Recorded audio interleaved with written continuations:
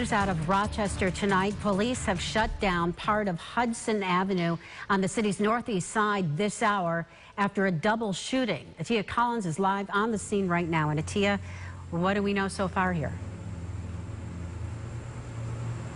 Well, that's right, Maureen. Here on Berlin Street is where the police say that shooting took place. You can see behind me the area is still shut down as police are still here on scene trying to piece together just what happened. Now, so far we know it was a little after 9 p.m. Officers responded to the area of Hudson and Berlin Street for sh shots, multiple shots fired. They found one 21-year-old male shot in the upper body on Berlin Street. That male was transported to Strong Memorial Hospital via AMR.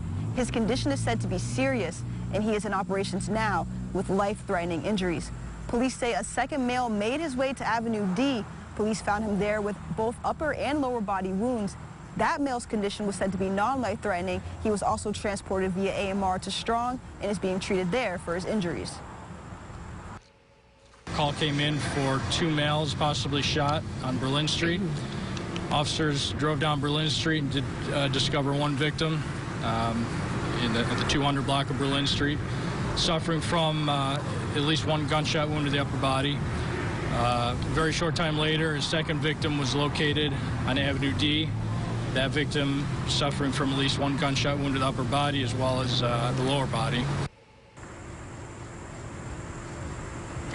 Now, police are still here on scene. They shut down this area. It's been shut down since a little after 9 p.m. We've seen police officers going around wearing masks and gloves, still checking in with neighbors and looking for evidence as they try to piece together just what happened here. Reporting in Rochester, Tia Collins, News 8.